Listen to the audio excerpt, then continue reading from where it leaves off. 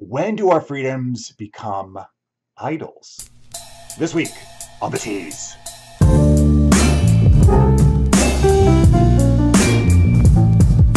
Hey everybody, this is Father Christian here at St. Mary's Episcopal Church in Stuart, Florida, and um, this week we are talking about freedom. Uh, Paul in Galatians 5 verses 1, comma 13 through 25. That's the epistle reading. For all of you who are looking in your Bible right now, God bless you. We, we need to examine this idea of what really freedom means to us.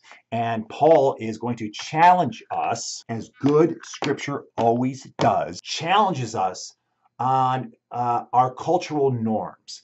And we have a cultural norm here in the States about our freedom.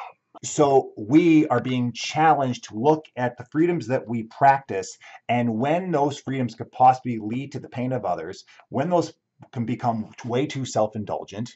And this is where Paul says, okay, you want to pump the brakes because we're all given a choice in life to make our own choices. But if you choose too much the freedom of the flesh, it's going to lead you down a dark road. It might feel good at first, but it's you know he it's like being getting trashed. You know, you might feel like the life of the party, but in the morning you feel like poo, and there's a reason why you do, right? Nature is saying, eh. God is being like, well, was it worth it? You kind of did some stupid things last night, right?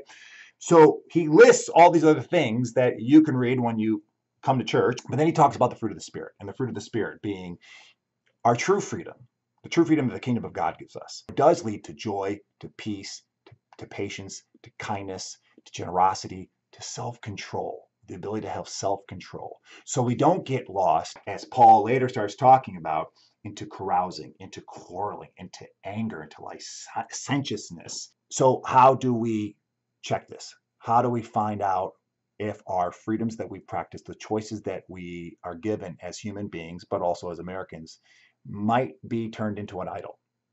That, my friends, we'll talk about this Sunday. And that we're going to talk about in context of mission, as this is Send Off Sunday, and we'll be sending 18 youth who have made the choice right? The freedom to choose to say, I want to be challenged by the Holy Spirit. I want to leave the comforts that I have here of the States and go off to another country where people are not going to talk like me, act like me, look like me, and culture be completely different than me. And allow the Spirit to just take over my heart and transform it as I engage in a whole different community. It's going to be awesome. So come and bless these folks. Um, all of us as a team, we're heading out there because uh, this is what God's mission is about. It's it's it's we have this freedom that's given to us, and do we want to choose the mission of God or the mission of self? So let's come root and bless these teams who said, I want to choose the mission of God and what God is up to. I want to follow that. So all that's coming up this Sunday here at St. Mary's Episcopal Church. God bless you. Peace.